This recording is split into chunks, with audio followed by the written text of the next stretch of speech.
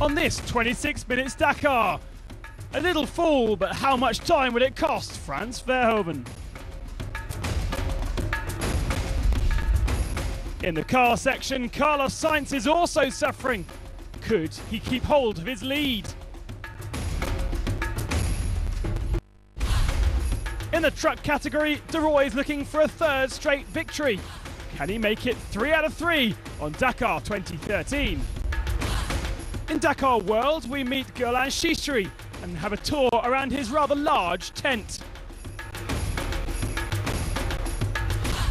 And in Dakar Legend, we learn all about the first victory for the Dakar master, Stefan Peterhansel. All the news, all the action on this 26 minutes Dakar, Pisco to Nazca.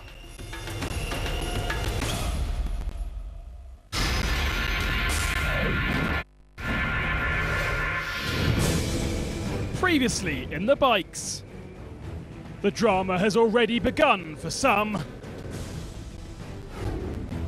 And the pace has been set by the young chargers, like Juan Barreda. He's fully focused on being flat out and fulfilling his ambition. The ambition of the team is to win, and we'll do all we can to win this Dakar. For four-time champion Cyril Despres, it's far more relaxing strategy. Keeping calm and getting to the end is key for victory.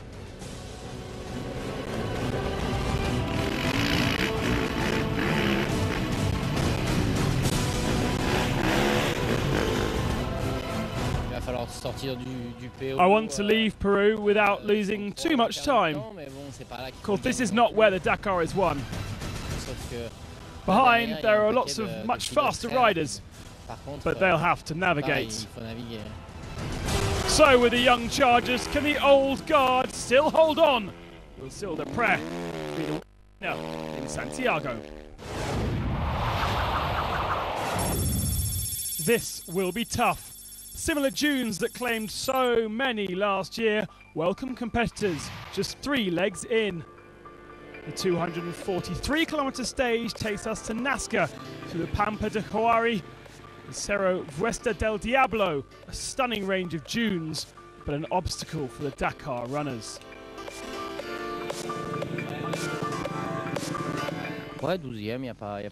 I'm starting 12. There's not too much dust. There is, of course, some sand at the beginning, so it shouldn't be too much trouble for me to overtake. It should be good. We're going to see what these young, fast wolves can do when they uh, open the stage.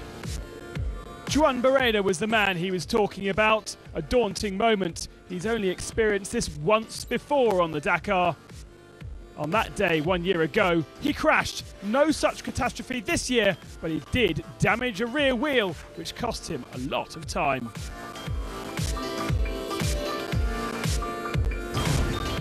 With one track to follow, Juan Pedrero traced his fellow Catalan through the early dunes, but then found himself alone out front.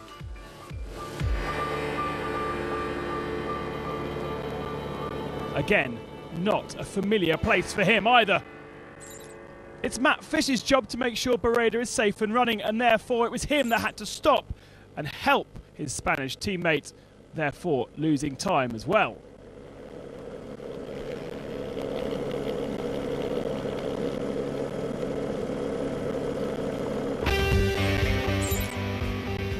But it was really significant for all four of the front men.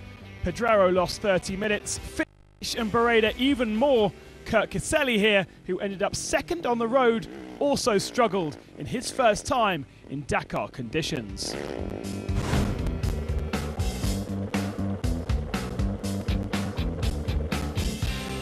After a disappointing day two, Frans Verhoeven was on the usual full attack this morning.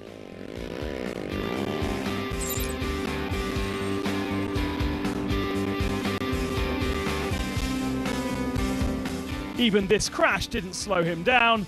He managed to finish eighth. It was a stunning stage. It's been a quiet run for Pal Anders Ullevålseter so far. Once again, being run by his own team, he took a 9th and a 10th and 11th today. That means he's third overall on his KTM.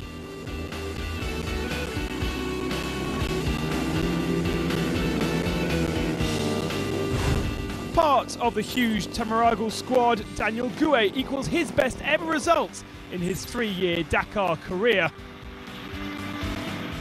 Sixth today, he was the best Honda after Rodrigues ran out of fuel with 10 kilometres to go. Into the top five then, and Polish star Kuba Przygoński had a really good day three. A polar opposite to what happened last time when he had to retire. Third in the World Championships, he aims just to finish this 2013 edition. In the Husqvarna squad are two teammates of two. While Barreda and Fish were having trouble, Alessandro Botturi and his teammate were loving this third stage. Only 31st yesterday, he stormed to fourth, just shy of Cyril Despres. The four-time champion, by his own admission, was hardly a spectacular ride today, but it was safe and enough for him to come home first bike alongside Farrier and Casteu. It means Despres now leads the rally. It was a good stage. I didn't really do anything particularly extraordinary, but I got some important points in the general standings. I arrived here euh, having led since kilometre 190.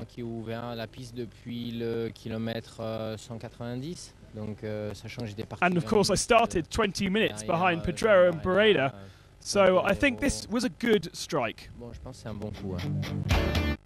Navigational errors on day two meant Portuguese Paulo Gonçalves lost a lot of time and he had to start 22nd today. Because of this, he pushed extra hard. And when the Husqvarna rider has his head down, he absolutely flies. He was just one minute behind the winner of the stage. And that was Francisco Lopez, the Chilean taking his second stage victory in three days and proving once again that he does have the pace to win.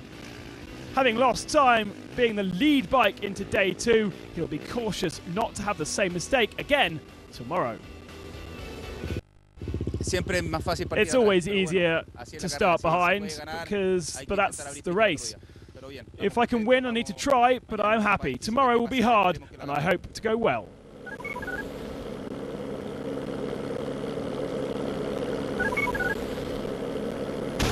So the results today, Lopez, Gonçalves, Despres, Botturi a good result in fourth and Przygoński for Poland in fifth position. It does, of course, alter the overall standings quite heavily. Despres now leads by 2 minutes and 50 seconds over Lopez. Ullevålseter up to third, then two Yamahas. Pa, Casteu in the top five.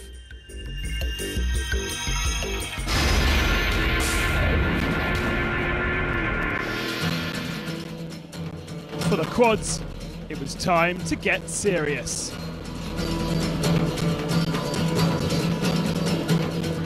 These four-wheel machines are easier to ride in the dunes than their two-wheel drivers, but mistakes will cost.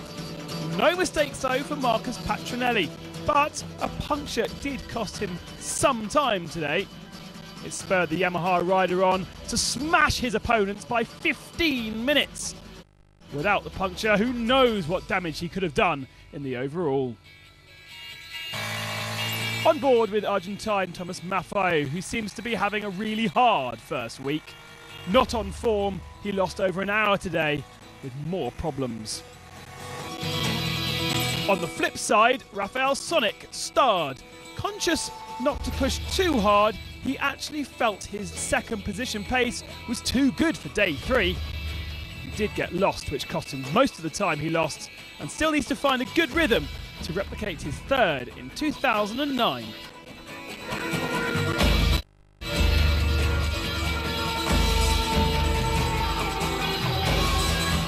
Having a bad day, Sebastian Husseini lost time in the early running of the stage, so he had to find 17 minutes to equal Patronelli's pace in the remaining 200 kilometres.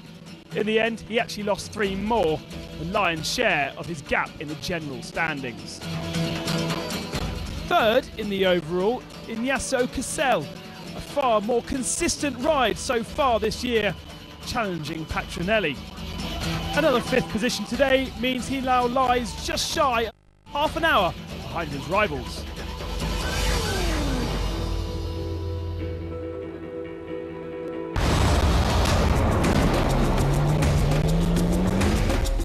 Coming next, we have all the action from the car category Mini versus Buggy.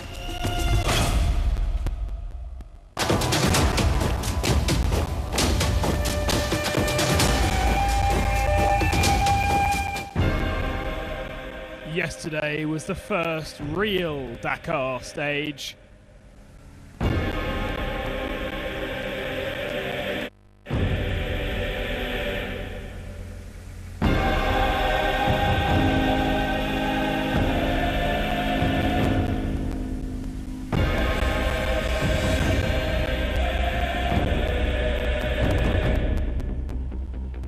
It was hot, it was dusty, and it was heavily demanding.